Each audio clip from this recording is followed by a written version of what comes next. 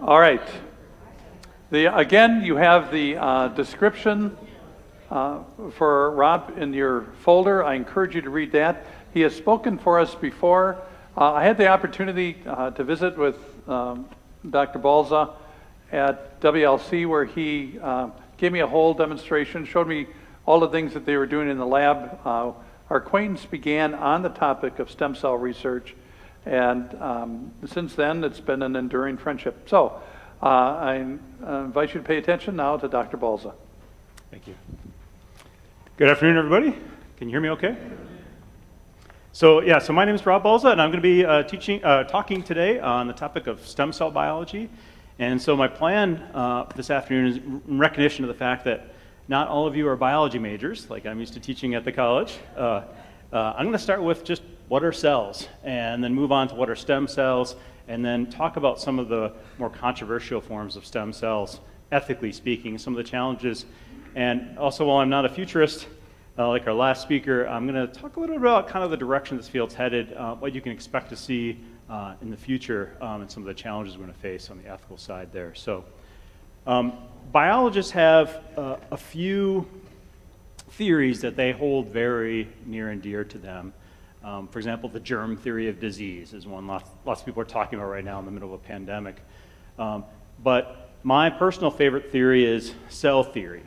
And cell theory is basically this all living things on Earth are made of cells, right? So if you take any plant outside and you slice it take a thin slice of it, shave of it, put that under a microscope, um, you'll see something that looks like this. You'll see that it's made of you know, um, millions of cells, these tiny little membrane-bound structures that contain genetic information, and they can replicate, they can multiply um, to repair damaged tissue, to grow new leaves, these sorts of things. If you take any animal, you'll see the same thing. So this is a piece of human skeletal muscle, and you take a piece of, the bi- uh, of your biceps or something like that, take a thin slice of it, put it on a microscope. This is what you're going to see. You're going to see that your bicep muscle is made of cells. These are called skeletal muscle fibers because they're long hair-like cells, but they're cells. Your whole body's made of these cells. So these keratinocytes on the surface of your skin, if you zoomed in under a microscope, you'd see these little round pancake-shaped cells on the surface of your skin. If you zoomed into your brain, you'd find these neurons. These are the cells that allow you to think and process information and send information to different parts of your body to move around and stuff like this. You zoomed into your liver, you'd see these little cells we call hepatocytes that are very important for metabolism. Anywhere you look in your body, you're made of cells. Okay? Now, what stem cells are, are a particular type of cell. Um, stem cells are cells that have two kind of special powers that not all cells do.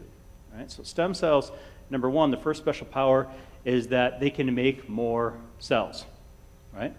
Um, and so for a lot of cells in our body, like our heart cells or like our brain cells, if you live to be 96 years old, a lot of your brain cells are 96 years old when you die, right? A lot of your heart cells are 96 years old when you die. But other cells are constantly dying and being reborn, right? So while there's 10 to 100 trillion cells in the typical human body, every couple minutes, you know, even seconds, millions of cells in your body are dying and being reborn, right? So if we looked at your skin, you know, um, today and two weeks from now, we would see all new skin cells on the surface of our skin. It's a wonderful blessing that we're constantly sloughing off skin and growing new skin to replace that. Um, unfortunately, that's what all the dust is in your house. it's mostly human skin cells. There's a little disturbing uh, observation there. Um, same thing in your blood, right? Blood cells typically last a little bit longer, but every couple months, your, your blood cells are being filtered out by organs like your spleen, and they're being replaced by new blood cells. Now, the cells in your body that are making new skin or making new blood, other tissues like this, we call stem cells, again, because they have the special power of being able to produce new cells, replicating.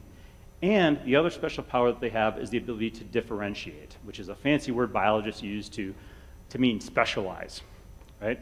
So sort of like as we go up through the education system, we're unspecialized when we're in kindergarten, right? You know, we could become anything. We can become a professional basketball player. We could become a, you know, a microbiologist. We could become a nurse. Um, but as you move through the education system, you start to specialize more and more in a particular area. And it's very difficult to go back and kind of retrain. I don't think I could become a, uh, a PGA golfer now at this point, You know, I've shot under 100 once in my life. Even though my dad's a golf coach and he's constantly trying to fix everything I do wrong, like I don't think you'll ever get me to a PGA level, no matter how hard I dedicate it. Because the older you get, the more specialized you get in a particular area, it's hard to retrain. Cells are the same way. Okay?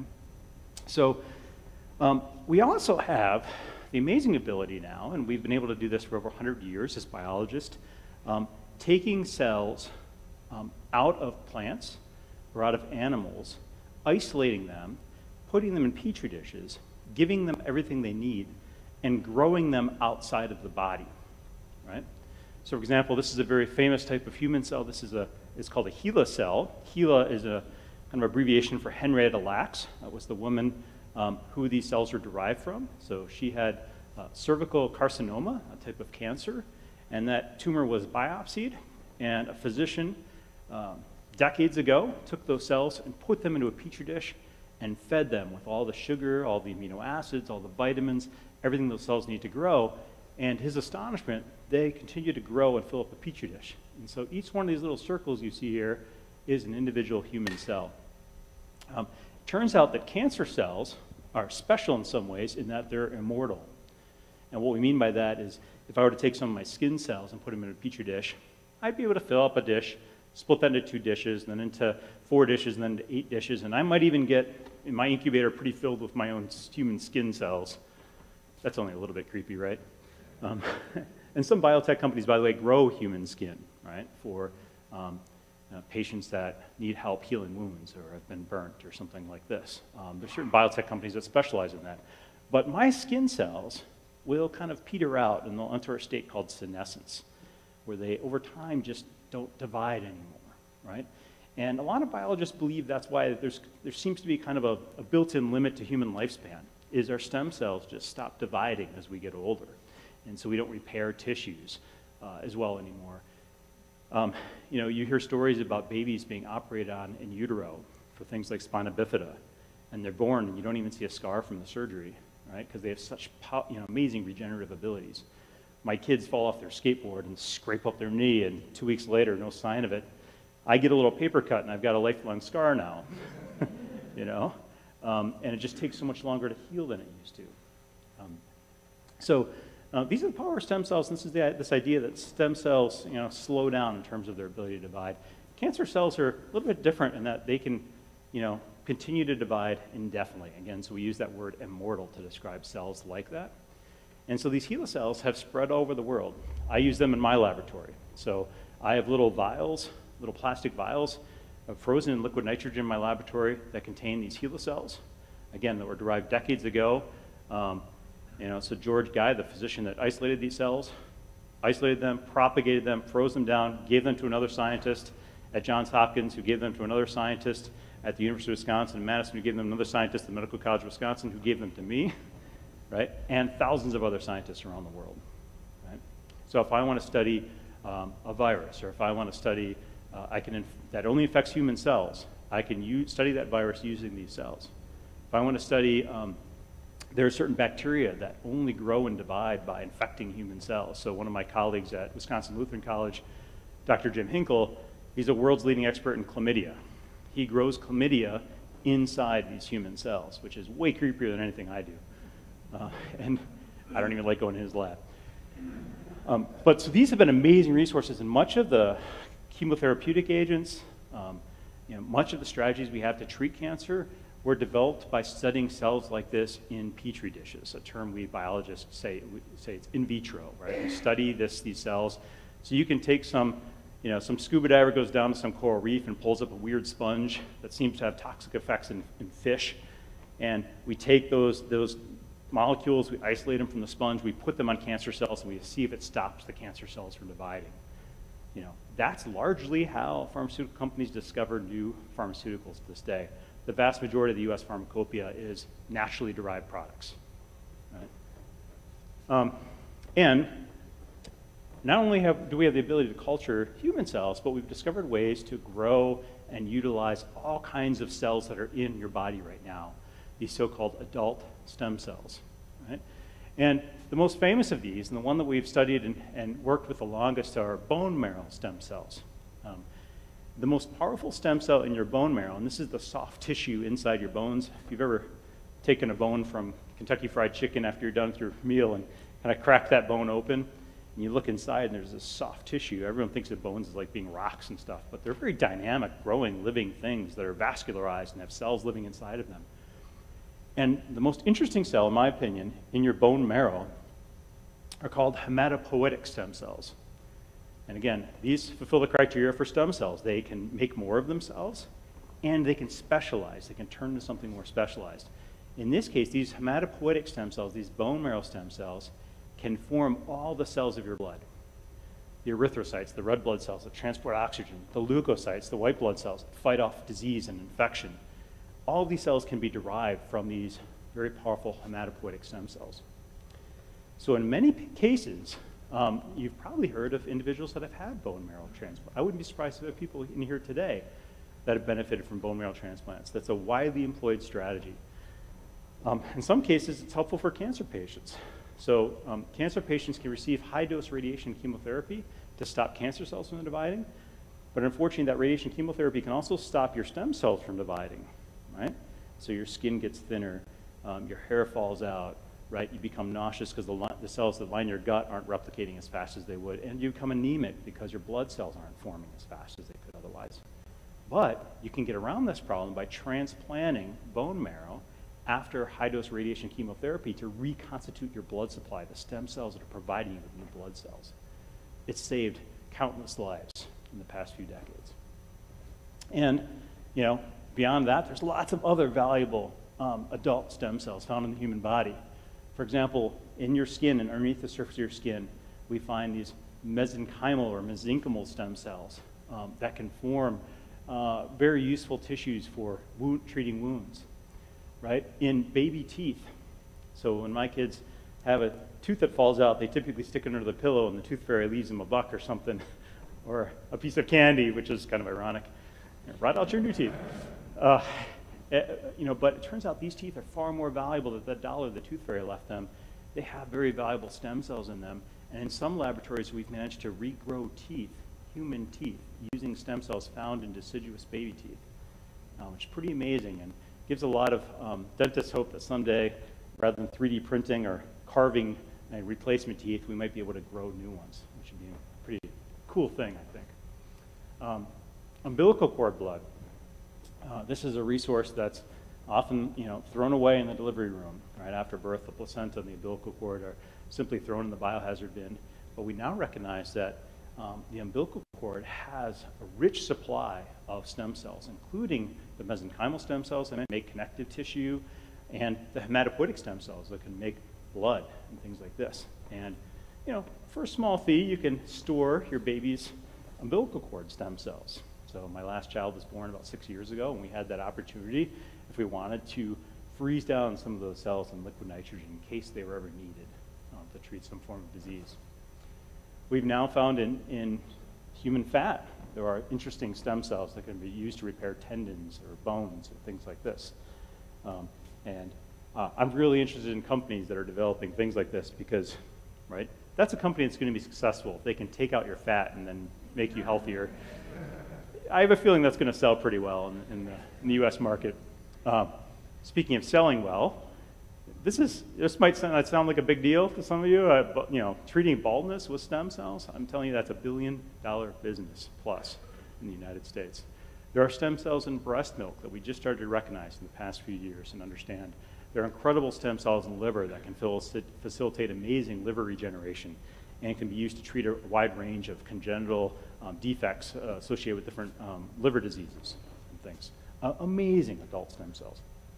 These are incredible treatments and they're not very controversial, uh, you know, to a large extent. Um, I don't, I've never met anyone that, for example, has many ethical concerns associated with bone marrow transplantation. They see it as a wonderful gift of God, um, as do I. Um, but there are some forms of stem cell therapies um, that are being explored in clinical trials and in laboratories around the world um, that I'm very concerned about uh, in terms of the ethics. And I want to talk to you guys about those a little bit as well. And some of those stem cell therapies are based on a technology that has also benefited people in a lot of different ways. Um, this technology of in vitro fertilization. Um, IVF. And so this was first done um, with humans in 1978. And it was really invented by this gentleman, Robert Edwards, who eventually won the Nobel Prize for this technology. And the idea is this, and you probably know uh, couples that um, uh, you know, were unable to conceive of children naturally. And there's a wide range of reasons for that. And sometimes it's on the paternal side, there's defects in the sperm. Um, oftentimes it's on the maternal side, right? There might be a blockage in the fallopian tube or an ovulatory dysfunction or something like that. In vitro fertilization is a way to isolate eggs from the mother and isolate sperm from the father, combine them in a petri dish, and then transfer them directly to the uterus, transfer those embryos directly to the uterus. And it's been an incredibly successful way to bypass a wide range of infertility problems that couples experience. Um, the latest estimates I've seen um, in the United States, tens of thousands of babies are born each year through this technology now. Uh, in fact, it's getting close to 2% of the babies born in the United States each year use some form of vitro fertilization technology. Um, now, one of the interesting things and kind of concerning things to me about in vitro fertilization technology is that during this process, oftentimes more embryos are produced in vitro than are actually transferred to the mother. And so sometimes these so-called leftover embryos are then frozen down in liquid nitrogen, just like the HeLa cells that are frozen down in my laboratory. And they can be then thawed out at a later date and transferred to the mother somewhere down the line. But sometimes the father and the mother die in a car accident before those embryos are able to be transferred. And so we have orphan embryos. Sometimes the father and the mother can see these, um, these embryos get a divorce, and they decide they no longer want them. Um, I saw on the agenda later on that um, is it Leah It's going to be talking a little bit about embryo adoption. I'm looking forward to that talk. That should be very interesting. Um, and I've, um, I've got family members that are uh, going through embryo adoption processes right now. It's a very interesting um, way to kind of, but this situation in the United States, it's largely unregulated. There's very little legislation that oversees, it's kind of a wild west of modern biotechnology, that oversees how these embryos can be created and, and what's done with them. Um, the sad fact is today, human embryos conceived by the vitro fertilization process are sometimes just thrown away because they're no longer wanted by the couples um, that paid to have them generated through this technology. And so what some scientists have said is these embryos might have the potential to form stem cells that can be used to treat more diseases than these adult stem cells I just talked about have the power to, um, to form. And, and, here, and here's why. Um, oh, forgot about this slide. I want to make you aware that not everyone views embryos in the same way um, I do, and I'm guessing most of you do as well, um, seeing them as a nascent form of human life. Um, many physicians and um, biotechnologists don't even use the term embryos to describe what I'm talking about.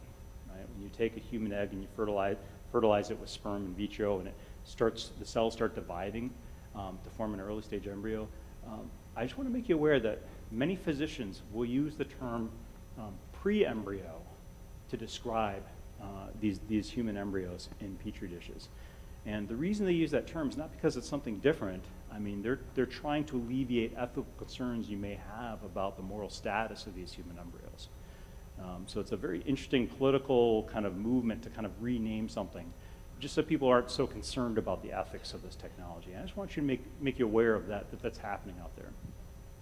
Now, another Nobel Prize winning discovery um, is, and, and, this dates back all the way to 1981 um, by two scientists, Martin Evans and, and, and Dr. Kaufman. What they discovered using mice is that if you take a very early mouse embryo, you do in vitro fertilization of mice, you take a mouse egg and you fertilize it with a mouse sperm, and you make this embryo, um, I'm going to refer to it as an embryo, not a pre-embryo, because that's what I believe it is, and it starts dividing into cells. In the next cell stage of embryo, we call morula, because it looks like a little mulberry, um, or, or, or uh, uh, raspberry, kind of under the microscope, it's from the same Latin root. Um, and then it kind of hollows out and forms what's called a blastocyst. Okay?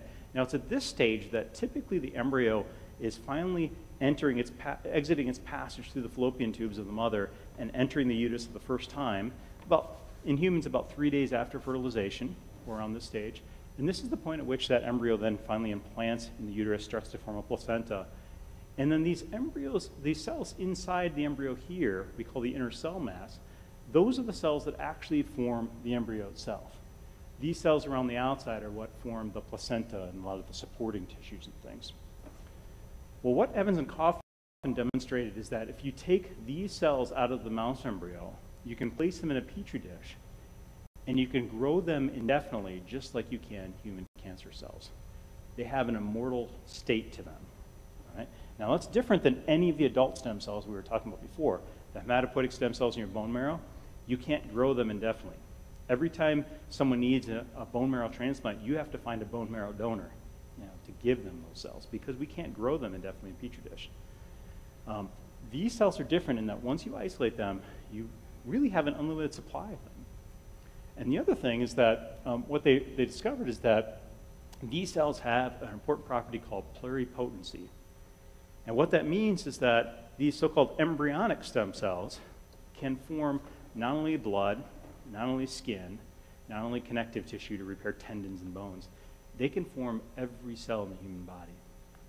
So for any disease that's degenerative in nature, and by the way, that's the majority of diseases that kill humans, right? So for example, the leading cause of death in the industrial in the United States, you know, even during a pandemic, um, is not COVID right now, it's heart disease, right?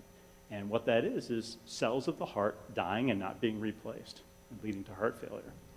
Um, diseases like Alzheimer's, or neurons not being replaced and proliferating. Um, with these cells, you can grow in petri dishes neurons. You can grow heart muscle cells, and you have a limited supply of them. This is what got biologists really, really excited, and this, why, this is why the Nobel Prize was awarded for this technology, this so-called um, embryonic stem cell technology.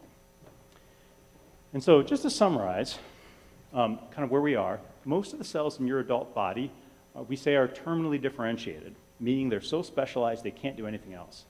So for example, a cardiomyocyte in your heart, that's all that cell can ever do is be a heart cell. That's a very important cell. It's beating and helping to squeeze the blood in your heart and push blood all, all throughout your body. But that's all that cell can do. If you take cardiomyocytes out of someone's heart, you put them in a petri dish, that cell will sit there and it'll beat, but it can never do anything else. Right? It can only be a heart cell. It's terminally differentiated. The majority of cells in your body are like that. But some cells in your body are multipotent. So, for example, I mentioned the hematopoietic stem cells in your bone marrow.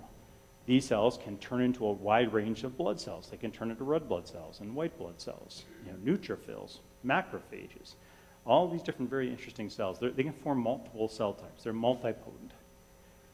But embryonic stem cells, while they can't form a whole new embryo, they're not totipotent. They can't, you can't just implant them into a uterus and form a baby. They can form every cell in the human body, and so we give them this name pluripotent. No adult stem cell, nothing from your bone marrow, nothing from the umbilical cord, has ever been shown to have the same sort of potency, and no adult cell has ever been shown to be immortal, all right, to be able to propagate indefinitely. Basically, start factories making different cells, things like that. Okay?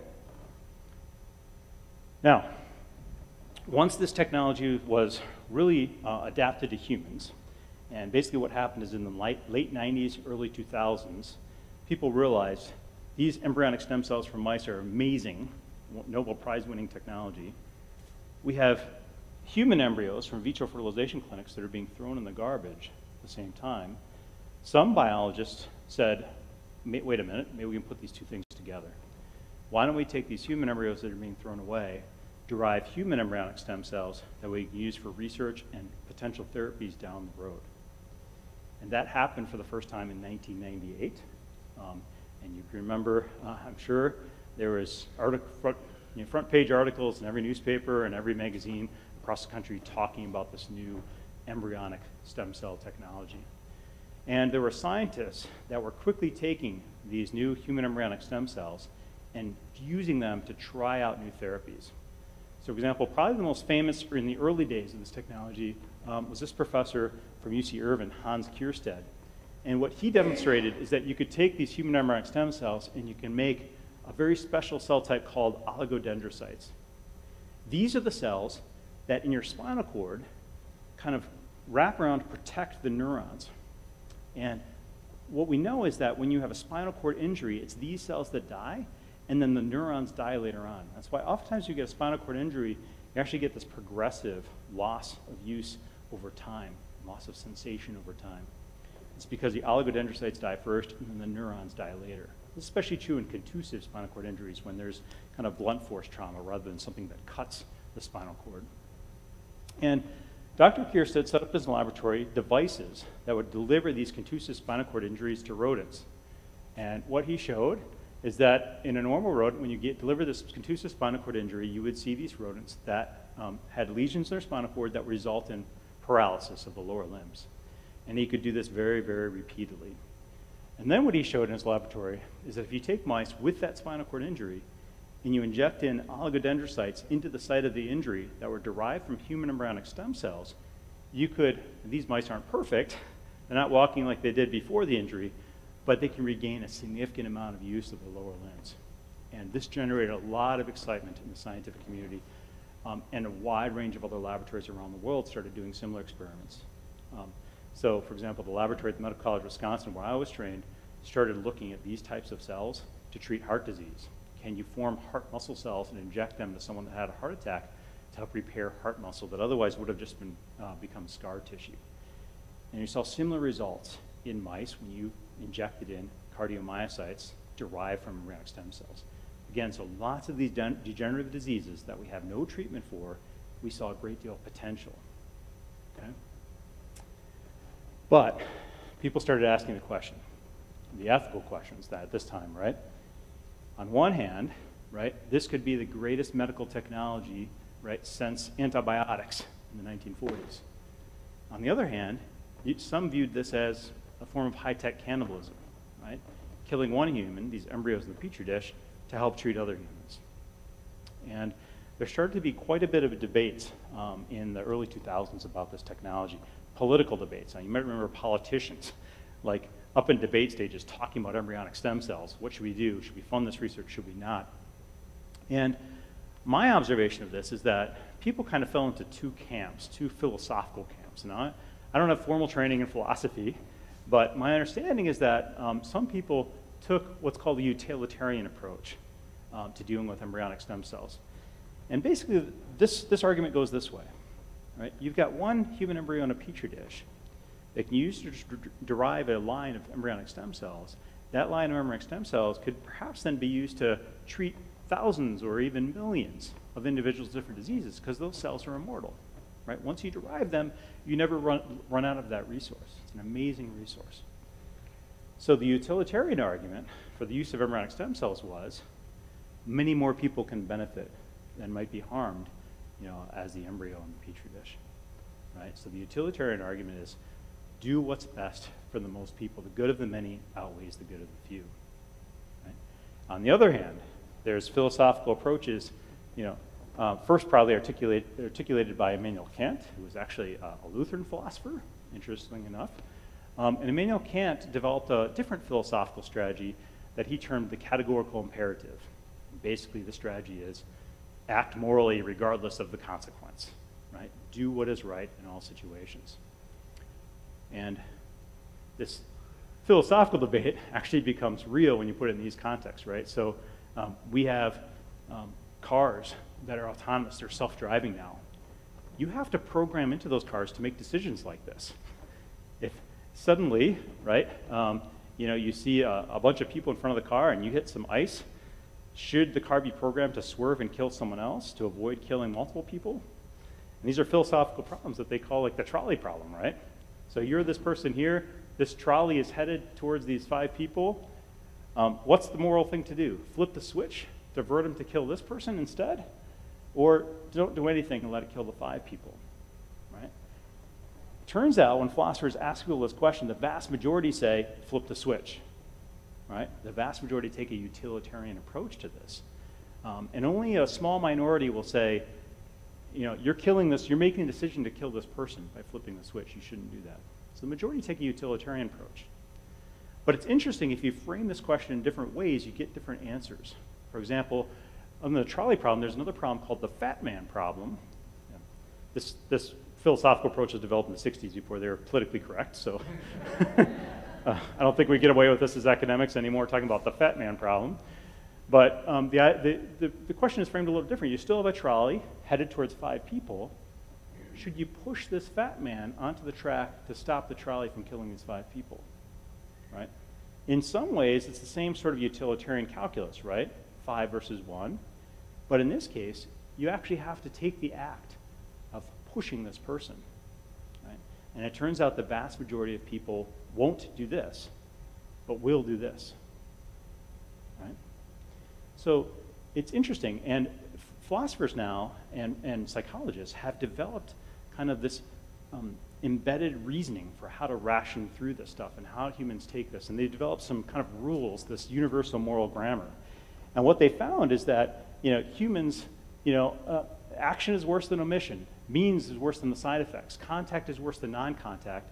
And this is universal regardless of religion. And so what you'll hear psychologists say is, these discoveries suggest that all humans, regardless of religion, are endowed with a gift from nature, a biological code for living a moral life. This code is a universal moral grammar, providing us with an unconscious suite of principles for judging what is morally right and wrong. The person that wrote this is an atheist. But to me, this sounds a lot like the Apostle Paul.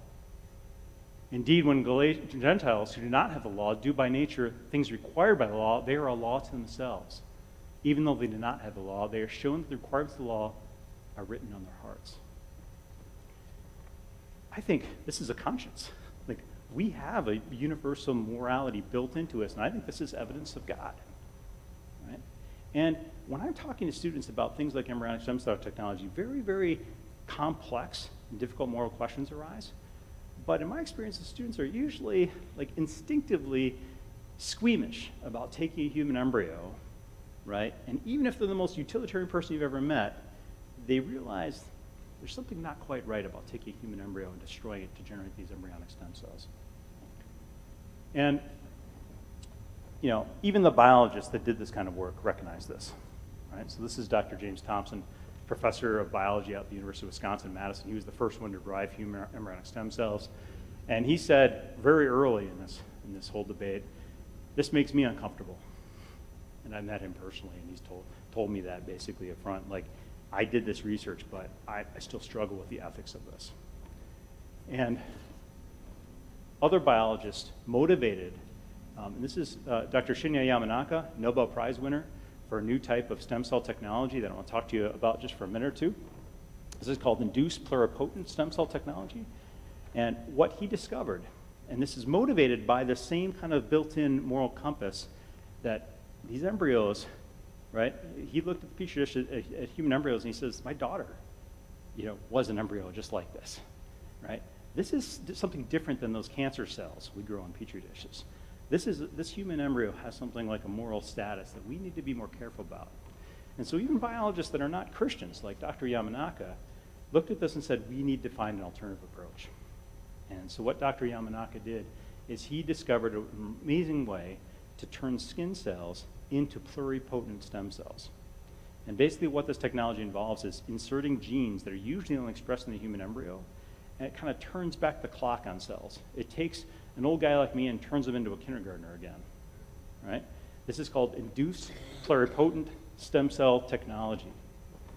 It's a way to derive the benefits of pluripotent stem cells without destroying human embryos. And it's an amazing gift. Um, this won the Nobel Prize a few years ago for this technology. And now, if you look, sorry, I just noticed I'm running out of time, so I'm skipping a few slides, I'm sorry. If you look, uh, you do a survey of the human clinical trials in stem cells, in pluripotent stem cells. The ones in blue uh, are ongoing trials using embryonic stem cells. Uh, the ones in orange are now the trials that are ongoing using induced pluripotent stem cells, and you can really see the field shifting in this direction. And I believe this sort of technology would not have been, would not have been accomplished had it not been for the concerns of organizations like CLR it's done a lot of work on the ethics of this in the early days, and I'm very thankful for the leadership position that folks like uh, Pastor Fleischmann took in this regard and the papers that were written and stuff on this, um, organizing um, Christian groups um, to say, look, we need an alternative approach, right? And so funding has shift, shifted and the field has shifted, And there's amazing therapies in the clinic using uh, induced pluripotent stem cell technology, non-embryo destructive stem cell technology to treat things like heart disease, all right, um, Alzheimer's, Parkinson's disease, spinal cord injury, macular degeneration. Um, lots of amazing stuff happening. And what my, um, my advisor told me in graduate school, he said, Rob, um, science always underdelivers and underperforms in the short run, but it always overdelivers in the long run. And I think that's what we're going to see here with this field of stem cell technology, especially now that we overcome a lot of these ethical challenges. Um, in closing,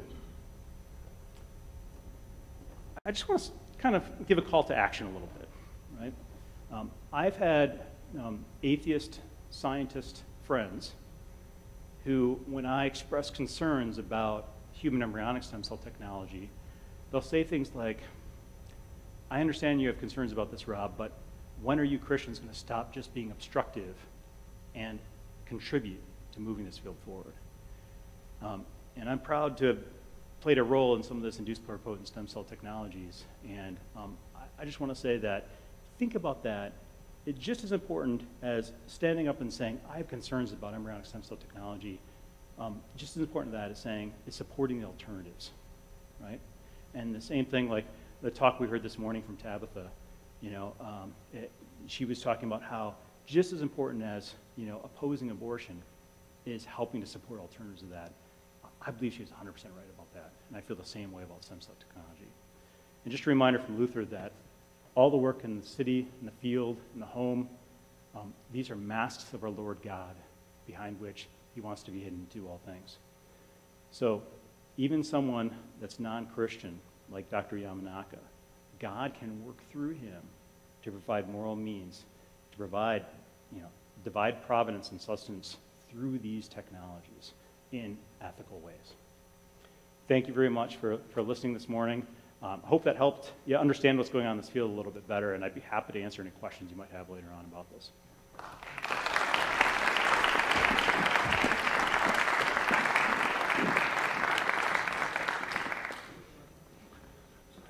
Thank you, Rob.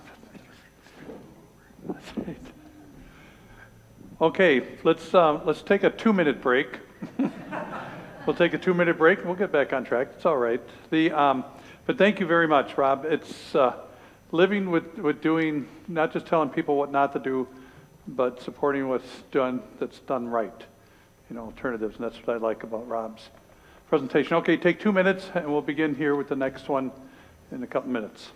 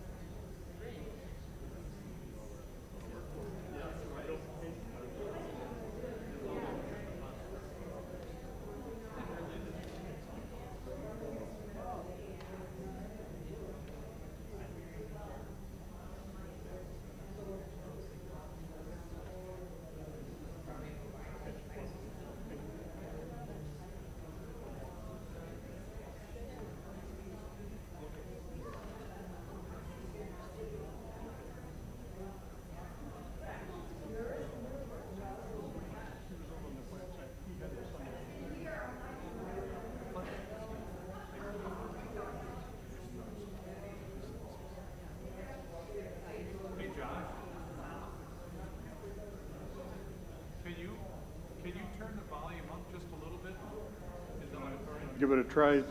Is that better? Is that quite a bit better? Not much better? How is it right now? Good? Thank you very much.